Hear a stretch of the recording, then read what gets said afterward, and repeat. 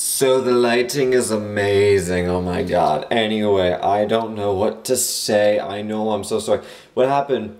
Like this is like a super quick update, but there won't be any Angry Birds this week because well, I went to transfer my Dropbox to my house so I can upload them throughout the week. However, they didn't want to transfer and I only got some Bejeweled gameplay, so I guess that's going to go up.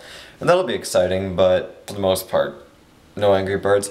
Uh, that's pretty much all I wanted to say, but we're going to do some interesting vlogs soon. Like, we're going to actually plan them out and have them super exciting. So, look forward to that, and I will see you guys... Well, I won't see you guys ever because I'm not actually meeting you guys.